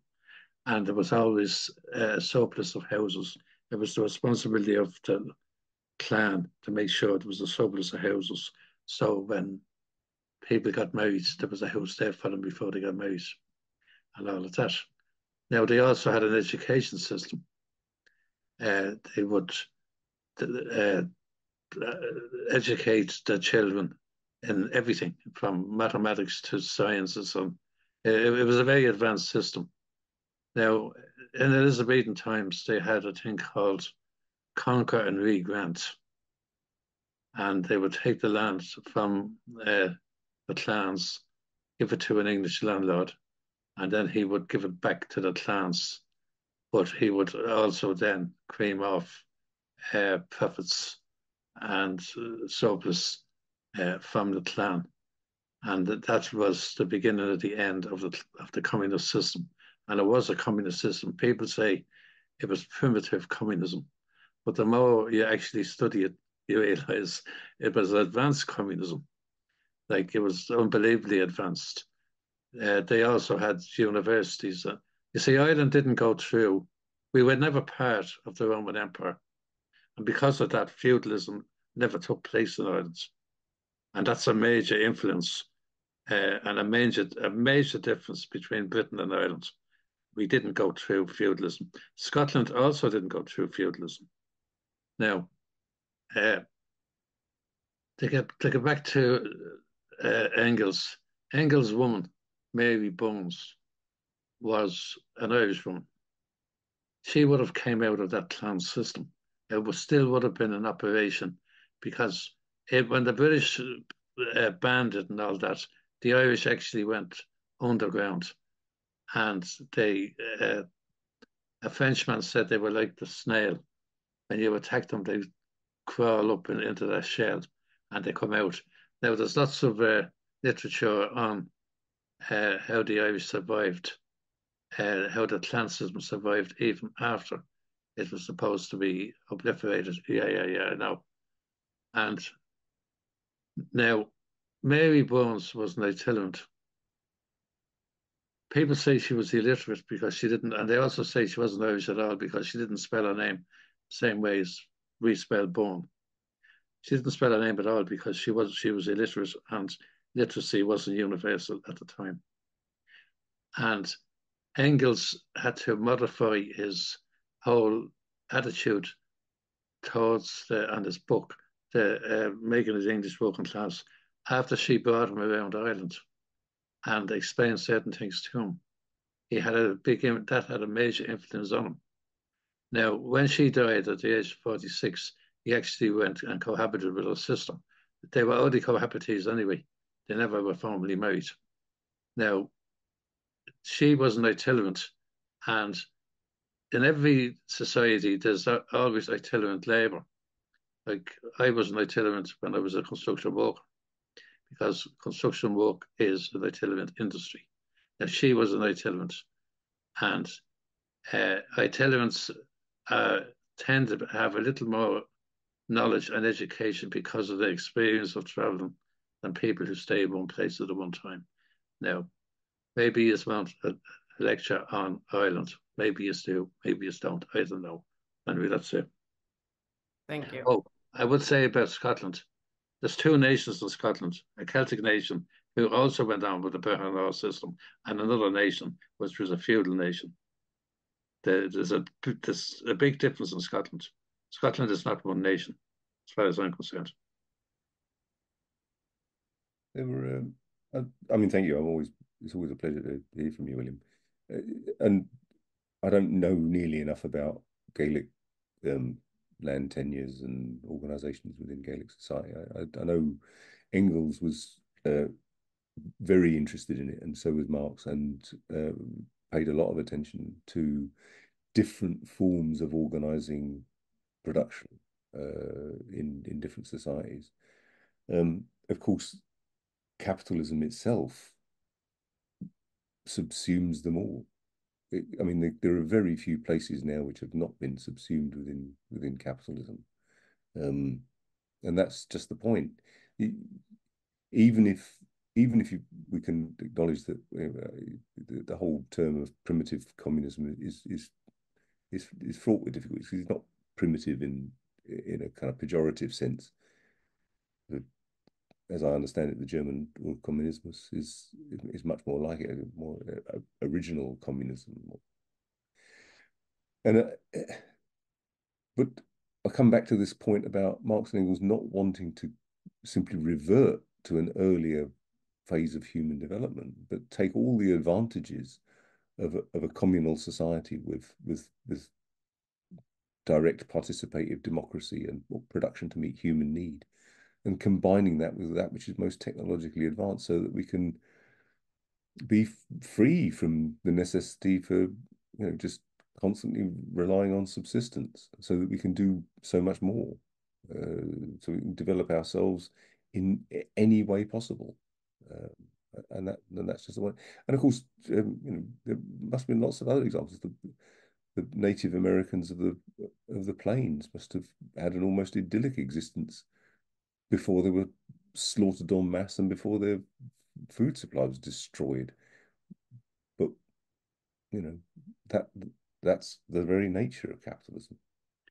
They had a system like the clan system, the Native Americans. It's more natural than than, than what you have in your. Uh, I mean, used by lords of the manor, lords of the manor, and serfs. The Irish were never serfs. That's why we still have a.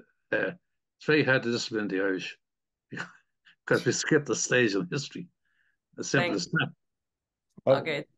It's also very interesting to read. Interesting to read um, uh, Rosa Luxemburg on this on in national her, her book on national economy, which which does talk a lot about those societies. Russia as well had had a lot of communal living, and she points out that you know the the colonialists went around the world and they found all these different places. You know, 18th, 19th century even find all these different places where people live together, share everything, and then they also thought oh, there's something here and there's something there, and it tended to be the rule rather than the exception that before capitalism uh, came about and when feudalism wasn't on the cards, it it was a, a system where that that was you know natural to to many of these these communities.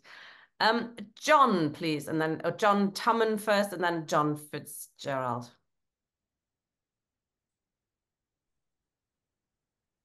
Thanks very much, Tina, and thank you very much, Ian, for a very interesting talk. I uh, missed the first five minutes of it, actually, uh, and I don't know whether you mentioned what I'm about to talk about, but I want to raise something about the brief, I think, from my point of view, what I heard, brief comments about primitive accumulation.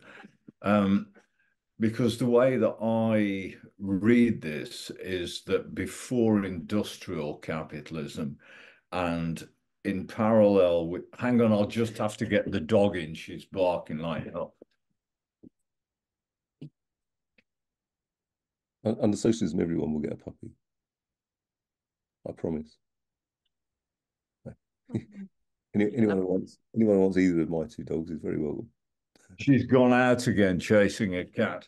Um, yeah, yeah, um, yeah. Uh, mercantile capitalism.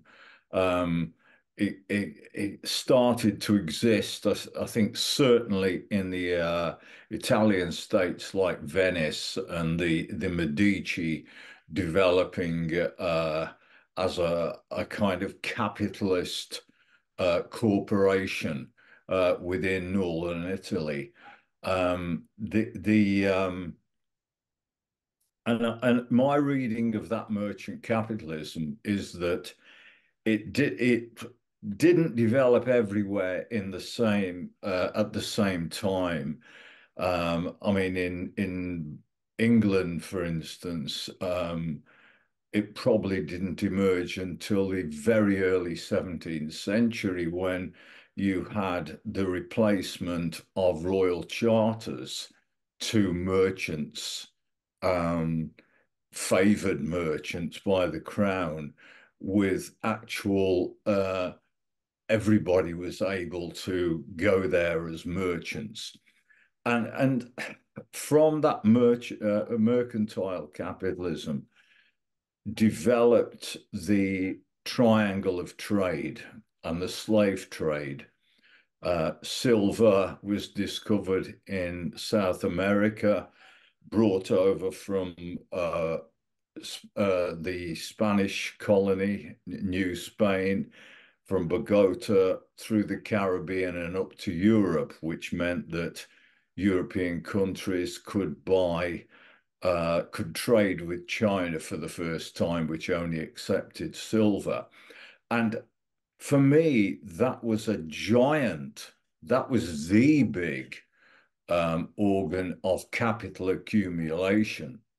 Um, the capital accumulation that came from the land changing from a feudal to a, a kind of tenant farmer uh, model, I don't. I think pales into significance. Certainly, if we, if we just look at the uh, at the architectural profile of Liverpool, Bristol, um, Glasgow, and you and you see what was built there by these merchant capitalists and i i and there was sugar was the first international product as well as slaves coffee tobacco all followed potatoes beans lots of things which europe didn't have um, and those made a lot of money for these merchant capitalists. And them and the old aristocracy from, I mean, where I live, there's a lot of history of, of the Industrial Revolution. And if you look at the local picture, you can see that it was the landowners who became the coal owners. It was the landowners who enabled um, people uh, like Matthew Boulton and others to build factories uh, and so on. Um, and the banks which had been established as, uh, as a result of and because of and because it needed them, merchant capitalism, they actually um, provided investment which was necessary to make this into uh, a real engine of uh, of production in a completely different way, the capitalist, the industrial capitalist system. Uh, so that that's the way in which I see primitive accumulation, and I think this this transfer from non-capitalist societies to capitalist societies, I think it is is not possible to understand without talking about imperialism because that's what merchant capitalism was when it comes down to it. And, and so for me, this undoes a lot of the Leninist uh, understanding, which is that capitalism came first and imperialism was what happened in the late 19th century, in the early 20th and that was just a stage in capitalism, the latest stage in capitalism. In, in my view, that is fundamentally wrong, and I'm and people like Victor Kiernan, uh, contemporary of Hobsbawm's and and E.P. Thompson have been saying this for a long time, and so have uh, various other people. Um, so you know, I see imperialism as predating capitalism and being a being, if you like, a midwife for capitalism. That's it, Tina. Thank you. I agree, with you.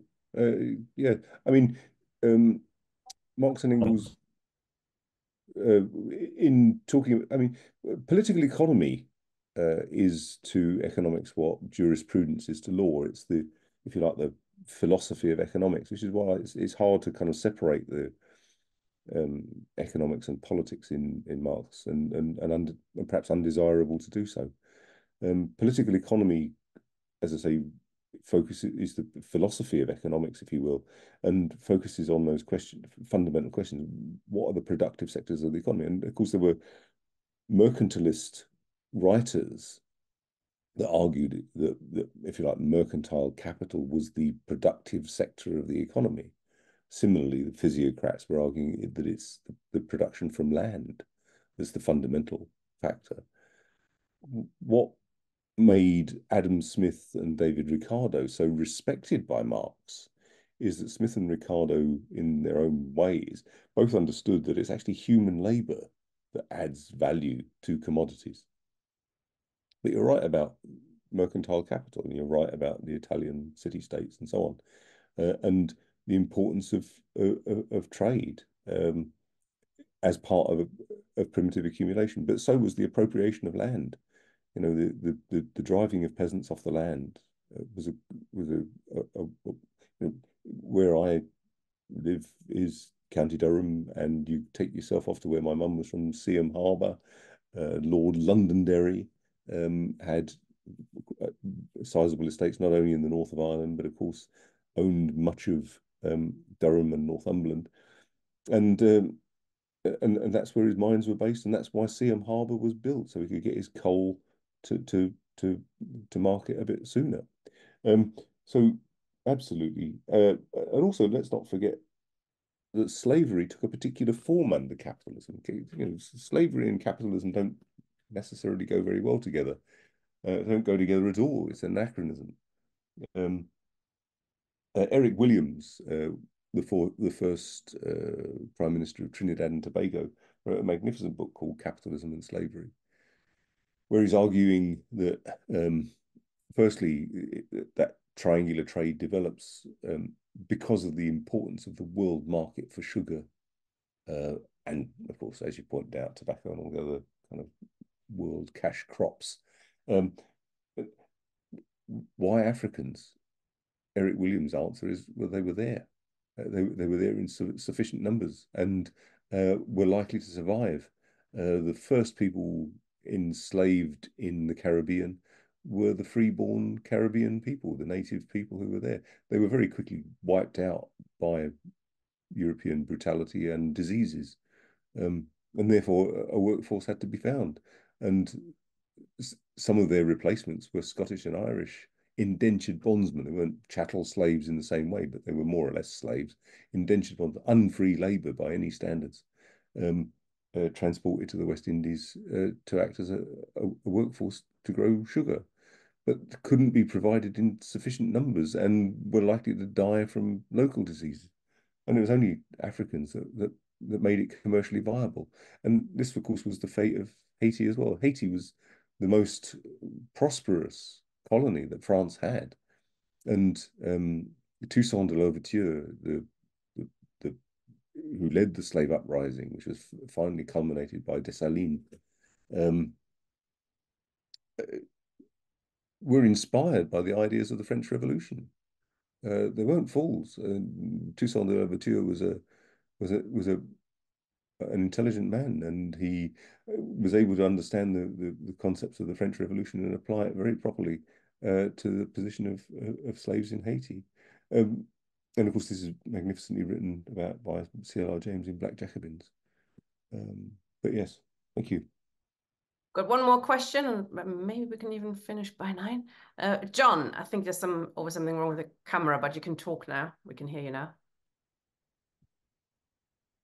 John Fitzgerald, you can unmute and speak. Uh, yeah, hi. Um, yeah, very interesting uh, discussion. Thanks, Ian. Um, I was thinking, I, it crossed my mind, you know, we have the theory, dialectical materials and historical materials, etc. And um, it's very difficult to actually imagine a world of socialism, a world of wonder, you could say. Um, and it will only come about through working class consciousness. Um, so that's the, you know, there's the kind of dialectic. But the actual whole person, you know, um, Ian, as you say, which I think is uh, you know, the fact that we're alienated from ourselves as much as that um, we we sell ourselves. So we whatever we produce, we can't actually use in a whole in a whole way. Yeah.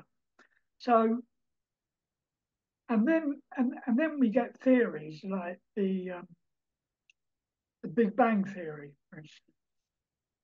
And there's views around that that um, if you're a Marxist, or depends, yeah, saying you're a Marxist and you believe in dialectical materialism, well, the Big Bang theory is a contradiction as such. So I'm I'm kind of looking at Marx as this on his scientific side, what his way he way can we call him a scientist in as much as we call other you know scientists scientists because nobody seems to they call him a sociologist they call him this they call him that but to, to me i thought for him science was paramount yeah that's it thanks john Ian, perhaps you could answer that question as well with a little bit of summing up of. Well, well I have to agree with you. Um, of course, Engels wrote about it uh, in Dialectics of Nature.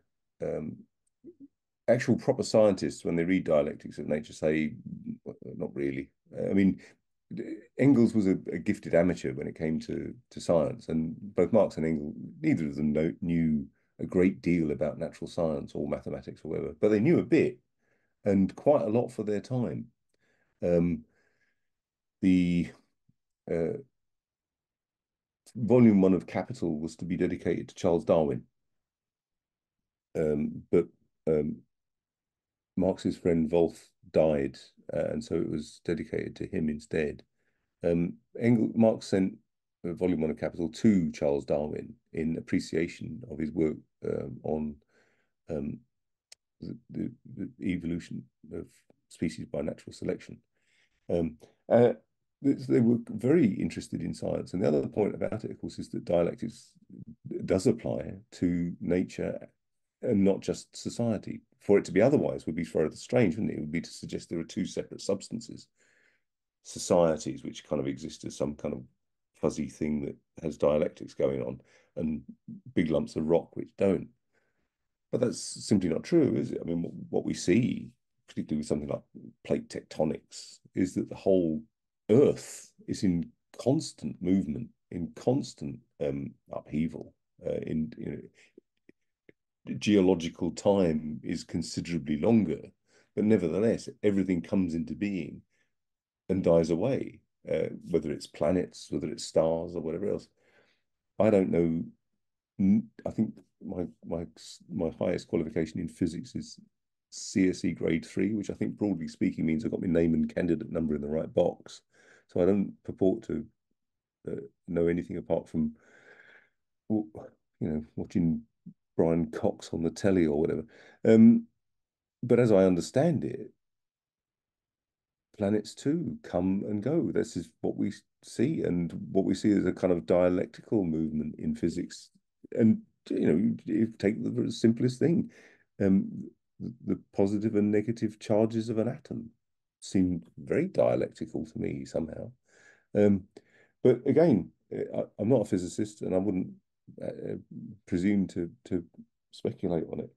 What I would say is, um,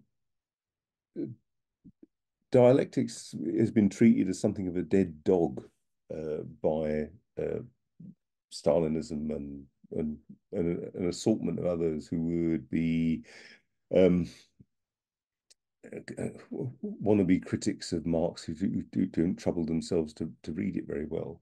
Um, dialectics was at the heart of everything they did, uh, and they tried to in, and they tried to understand it both in terms of the physical world as well as the coming into being and uh, supersession of, of, societies in history. Um, and you're right about them seeing themselves as scientists, above all as, as having a scientific approach to history. Um, if you say science and history in the same breath in English, um, it it doesn't sound right because we tend to see things in empiricist terms. That's part of the whole history of uh, of English science of imperial of empiricism, um, where you really just see cause and effect, and and there isn't the same movement. Um, by contrast, uh, it was explicable in terms of law-governed motion. The fact that England English doesn't even have a verb for, for law-governed motion, really, unless anyone can think of one. In Russian is zakonomiernost, and in other, I'm sure in German there is one as well. Um, but it's an interesting feature of, uh, of, of the influence of empiricism on the English language that we don't. Uh, so, how I would sum things up is saying that um, Marx and Engels were putting forward a science not just of society, but uh, a science of the coming into being and ultimate supersession of capitalism. Their work was largely concerned with a critique of political economy, uh, and they weren't usually concerned with um, blueprints blueprints from what a socialist society would be like. But what they were concerned was with how human beings have developed in history uh, and ultimately will be truly human in a socialist society.